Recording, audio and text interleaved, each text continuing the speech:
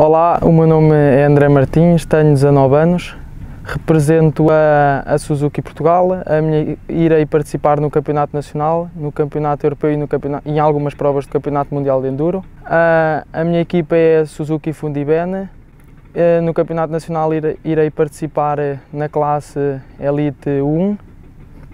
O meu objetivo é lutar pelo, por um dos lugares cimeiros da classe Elite 1, tentar ter boas internacionalizações tanto no europeu como mundial e no final da temporada espero ir aos seis dias de enduro e para isso ter uma época sem lesões, evitar ter qualquer problema ao longo da época e ir melhorando prova após prova.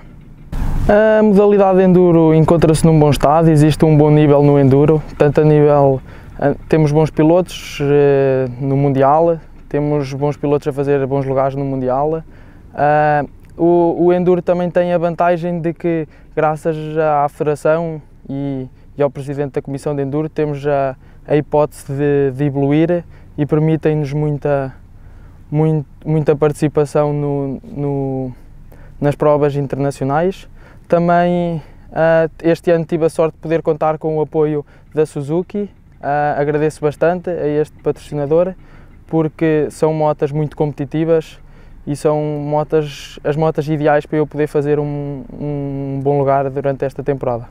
Gostava de agradecer a todos os meus patrocinadores, à, Suzuki, à Fundibene, à Cross Pro, Moto Extreme, à Câmara Municipal de Agda, à FIMEL, a todos os que, os que me apoiam e que trabalham comigo dia após dia e que, e que acabam por me ajudar ao longo da época a atingir bons resultados. Obrigado.